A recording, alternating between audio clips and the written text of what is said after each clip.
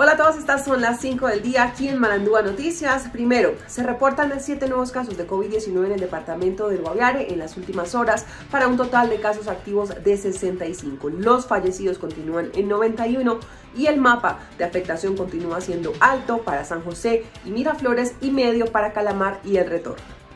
Dos, el registrador nacional Alexander Vega ya se encuentra en el departamento del Guaviare y estará cumpliendo esta tarde con la asistencia al foro del lanzamiento oficial de las elecciones para los consejos municipales locales de juventud. Se espera una muy buena participación de los jóvenes líderes del Guaviare. 3. Más de 20.000 víctimas del Guaviare siguen a la espera de las indemnizaciones. Así lo confirmó el director nacional de la Unidad de Víctimas, Ramón Rodríguez, quien aseguró que los 28.000, que es en este momento el censo actual que se tiene en el departamento, se han reparado cerca de 7.000. En este momento ellos siguen a la espera de poder conseguir los recursos porque son más de 45 billones de pesos los que se necesitan a nivel nacional para poder reparar a todas las víctimas del conflicto armado.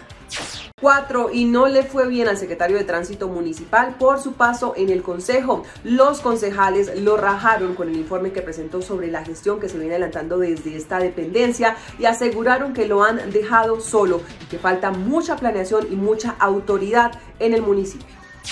5. La organización Surgical Volunteers International desde Estados Unidos llegará al departamento del Guaviare el próximo 17 de septiembre hasta el 24. Estarán realizando una jornada médica completamente gratis para realizar diferentes procedimientos quirúrgicos y también cerca de mil consultas en medicina general. Esta jornada cuenta con el apoyo de la gestión social de la gobernación del Guaviare y también de las entidades de salud como la S de primer nivel, el Hospital San José del Guaviare y también del ICBF con quien se está coordinando la intervención intervención quirúrgica para tres niños indígenas, dos de la etnia Hu y uno Nukak.